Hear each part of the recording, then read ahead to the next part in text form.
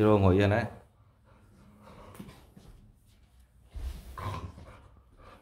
Ôi xin chào mọi người. Hôm nay ngày mưa gió. Ừ. Rồi có đứa nào ra hay không? Bây giờ là 3 giờ kém 5 phút. Siro lên ghế ngồi đi. Messi đâu rồi Pila ra đây. Ừ, ngồi đây. Pila ra đây.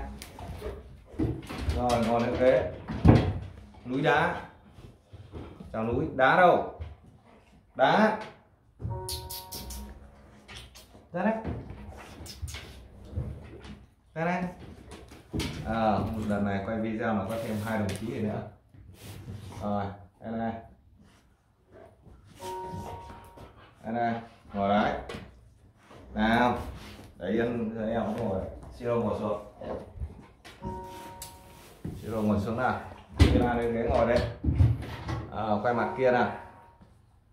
À, hôm nay uh, quay cái video này muốn uh, nói chuyện với mọi người một chút về cái uh, uh, thấy bởi vì là thấy có một cái sự uh, khá là tương đồng về tính cách giữa cái con rốt và con mông cọp uh, cái con mông cọp nó cũng rất là quấn người nhé mọi người nhé.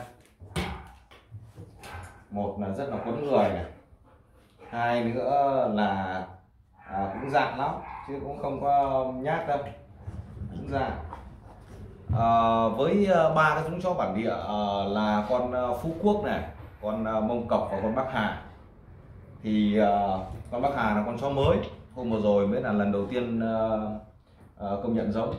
Thì mọi người uh, đánh giá là con bắc hà là cái con mà cái um, gọi là cái thần kinh của nó cứng nhất.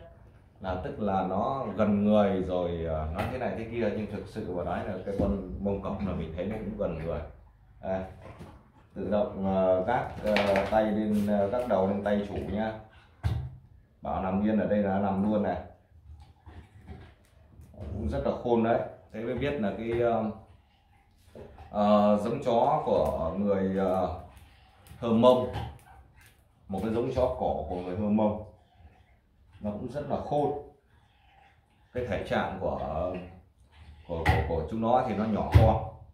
Gọi là thể trạng của người của của, của gốc á. Nó nhỏ con. Không to con như là mấy thằng tây này.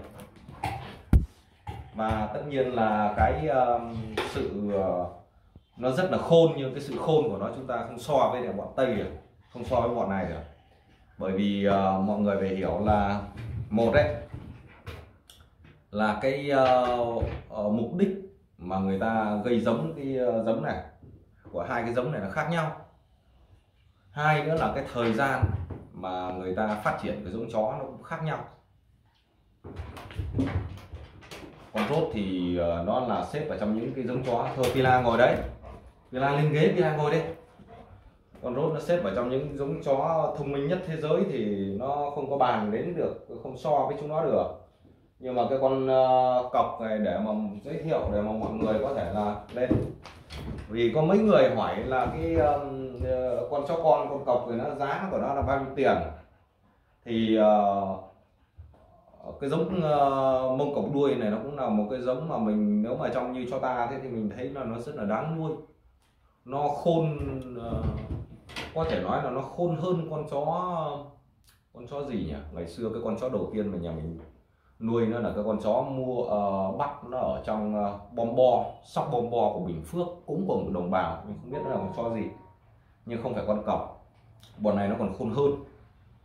Uh, trong các giống chó ta thì nó nó nuôi là hợp lý cho ta thì nó dễ nuôi hơn chó tây và giá nó cũng rẻ hơn. Uh, tại sao giá nó rẻ hơn thì uh, nhìn chung nó rẻ hơn thôi chứ không phải là chắc chắn nó rẻ hơn đâu. Tại sao nó rẻ hơn thì mọi người nhìn cái thể trạng của nó nó nhỏ thì nó sẽ ăn ít. Nó ăn ít thì nó chi phí nó thấp thì đương nhiên nó phải rẻ hơn rồi. À, chưa nói đến là cái tỷ lệ à, bệnh này bệnh kia nó ít hơn bởi vì nó thích nghi khí hậu. Ờ, à, rồi cái à, khi mà con chó mẹ nó đẻ thì cái con chó mẹ nó là con chó nhỏ các cái giống chó nhỏ thì nó nuôi con rất là khéo ờ, gần như không có tỷ lệ rơi rụng. Uh, tức là nó đẻ bao nhiêu con gần như là nó sẽ uh, còn từng đấy con luôn không có mất đi con nào. Đấy là hầu như. Còn uh, rốt đây như mọi người thấy như giả sử như là cái đàn vừa rồi của Messi nhá là đẻ 10 con này khỏe mạnh. À 10 con là còn 8 con. Uh, rơi dụng mất hai con lúc đẻ này là còn 8 con nhá. Ờ, à, 8 con trong cái quá trình chăm mà chăm như thế mà chỉ sơ sẩy ra một tí là nó phát sinh cái này cái kia. Là rơi dụng nó mất hai con nó còn có 6 con. Giả sử như là bọn cọc này nó mà đẻ ấy đẻ 5 con là còn đủ 5 con đẻ 6 con còn đủ 6 con mà đẻ 4 con đủ 4 con. Hầu như là nó chẳng rơi dụng đi thế nào. Này chưa kể là cái giai đoạn mà cái con chó nó ở trong cái tuổi lớn thì ờ, các cái giống chó tây này uh, nhất là khi mà nó càng là những cái con chó uh, mà nó mới về Việt Nam một hai đời. Thôi. Thì uh, cái sự thích nghi khí hậu của nó nó sẽ không bằng những cái con mà nó ở đây lâu. Thôi nào. Lại động vào máy quay anh lên trên. Một đứa lên trên. Còn cái con cọc nó là con chó của Việt Nam nó từ lâu đời rồi. Nó uh, uh, thích nghi uh, cái uh, khí hậu rồi uh, uh, cái uh, dinh dưỡng cái kiểu ăn uh, nhiều tinh bột của người uh, Việt Nam cũng như là uh, người Việt Nam nói chung cũng như là người uh, dân tộc uh, Hơ Mông nói riêng đồng bào Hơ Mông nói riêng người ta cũng ăn nhiều tinh bột. Cho nên là như chúng nó là là là là cho nó dễ nuôi hơn. Với ở Việt Nam mình thì à, nếu mà bạn nào mà quý chó ấy à, mà muốn à, à, nuôi rốt thì là đương nhiên là mọi người xem cái kênh này mọi người thích nuôi rốt rồi.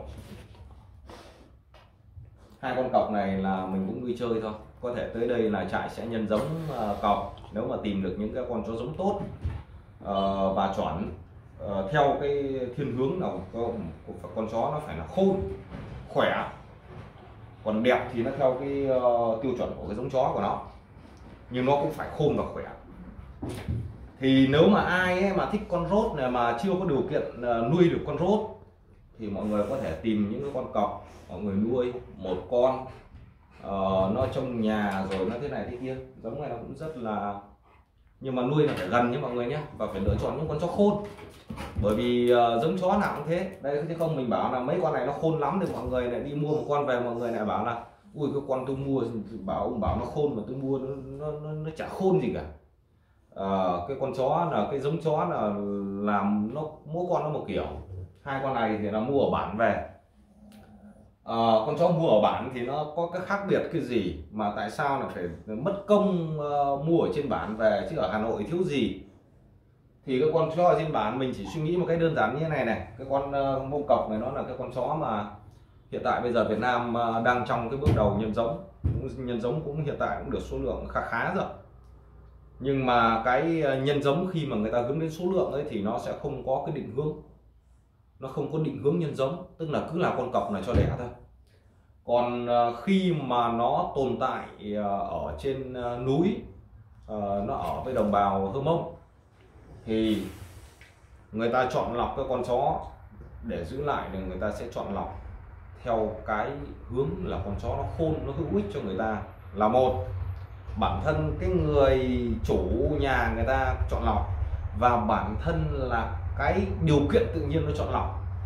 Cái điều kiện tự nhiên của nó thì mình nói là nếu mà giả sử như ở trên đồng văn hai con này bắt ở trên đồng văn thì nhìn cái quang cảnh mà mà mà mà mà à, cái đường đi của họ hay là cái à, khoảng chơi của những con chó thì nó kinh khủng lắm. Nó sảy chân một cái nó, nó rơi xuống vực này bởi nó toàn là núi đá và nó toàn là cái đường đi nó toàn là mép ở bên cạnh là vực thôi. Và cái đường đi nó bé con co. Nó chỉ khoảng tầm 30 phân chiều ngang 30 phân đến 40 phân cái đường bên cạnh là vách đá rồi và bên dưới là vực vào những cái khu vực mà người ta ở. Thì bản thân cái điều kiện tự nhiên đấy nó cũng là một cái chọn lọc luôn. Cộng với cái việc là chúng nó đi săn bắt này kia à, bởi vì là người ta sẽ cho ăn là chủ yếu là người ta cho ăn ngô và cho ăn ờ, cơm cơm trắng. Thì cái ờ, việc con chó nó phải tự đi kiếm ăn để nó bổ sung cái lượng đạm cho chúng nó chứ không phải là à, nhiều người thì lại à, à, nuôi cái con cọc này mình nghe nó cũng buồn cười. Là nhiều anh em thì lại bảo là ở trên bản người ta nuôi toàn ngô với lại cơm thôi. Thì về đây cũng phải nuôi nó như thế nó mới tốt được. Thì chịu rồi. Mọi người uh, quên mất một điều là ở trên bản người ta nuôi người ta cho ăn toàn ngô với cơm nhưng mà uh, người ta nuôi con chó thả hoàn toàn tự do. Uh, con chó nó ra kia nó nhặt cây này nó nhặt cây kia nó ăn đấy nó ăn rau. Hay là nó ăn nó bổ sung một số cái chất ở trong rau. Hay là nó đi nó săn được con này con kia nó ăn. Đấy mà nó như thế thì làm sao mà mà mọi người uh, tính đến cái việc đấy và cái con chó này đấy nó là một cái mà khi mà mua con chó trên bản và mình thấy là hai cái con hai con này nó là hai con khôn hai con chó con này nó rất là khôn đấy và cũng biết ý đấy chứ không phải không đâu. Cũng biết ý đấy tất nhiên là đấy lại nhắc lại cái câu chuyện là không so với lại cái giống rốt được. Nhưng mà nó là con chó có thể nuôi được một giống chó có thể nuôi được giống chó của Việt Nam mà có thể nuôi ở gần người được. Đấy. như này nó đâu có khác gì uh, uh, mấy con uh, giống chó choai choai của nước ngoài đâu. Mấy giống chó choai choai này. Nhìn trông cũng cũng xinh đấy chứ.